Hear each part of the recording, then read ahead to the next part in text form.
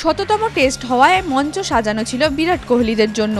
অধিনায়ক হিসেবে টেস্টে প্রথমবার নামা রোহিত শর্মার দিকেও নজর ছিল। নজর ছিল পূজারা রাহানে ছাড়া দল কেমন করে সেই দিকেও। কিন্তু সব আলোর ঝলকানিকে ম্লান করে দিয়ে ব্যাট হাতে রবীন্দ্র জাদেজার একশো পঁচাত্তর ও দুই ইনিংস মিলিয়ে বল হাতে নয় উইকেট তুলে নেওয়া সব হিসেব গোলমাল করে দিল। শ্রীলঙ্কার বিরুদ্ধে প্রথম টেস্টে মোহালিতে টসে জিতে ব্যাট করার সিদ্ধান্ত নেয় ভারত। বিরাট রোহিত মায়াঙ্করা ব্যর্থ হলেও জাদেজা, পন্থ, বিহারীদের চওড়া ব্যাটে ভর করে শ্রীলঙ্কার সামনে পাঁচশো চুয়াত্তর রানের পাহাড় প্রমাণ লক্ষ্য দেয় টিম ইন্ডিয়া।